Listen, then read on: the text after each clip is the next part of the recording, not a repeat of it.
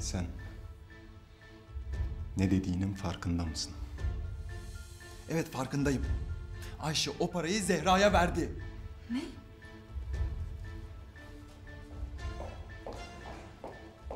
Zehra? Neyin var canım iyi misin? İyiyim. Şey, odama çıkıp biraz dinleneyim diyorum. Tabii tabii dinlen sen.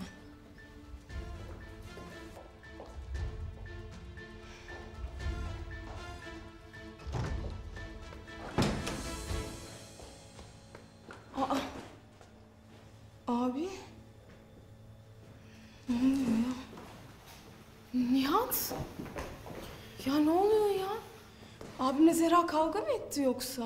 Yo Zehra odada değildi ki. Ömer'le ben. Ama ikisi de çok kötü görünüyordu.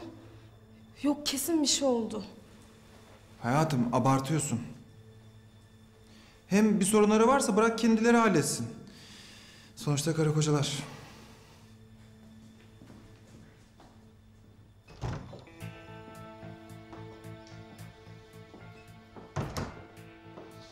Böyle bir şeye nasıl cesaret edersin sen? Hı?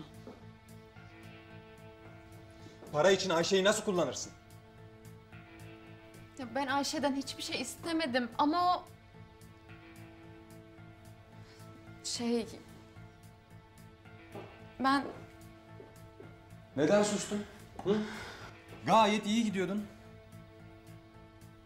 Yine her zamanki gibi yalanlarını sıralıyordun. Ne oldu? sandığın gibi bir şey değil. Yeter. Tek kelime bile etme.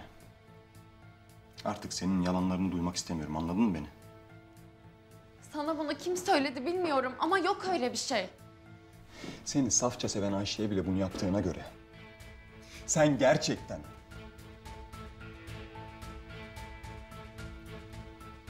Yok artık. Seni tarif edecek kelime bile bulamıyorum. Ama ben... Sen yalancısın. İki yüzlüsün. Para için... Yeter artık. Sus yeter.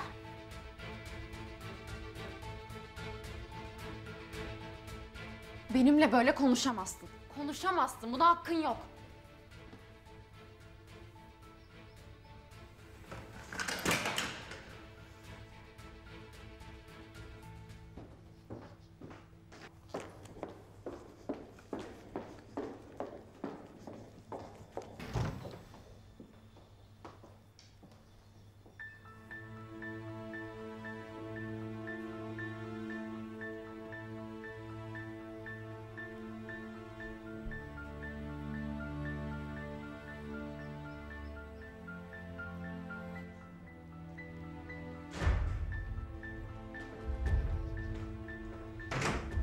Bir daha. Bu evde yüksek sesle konuşmayacaksın. Anladın mı beni? Senin yüzünden Yine beni dinlemiyorsun. Tek yaptığın şey yargılamak. Bu muydu senin anlaşman?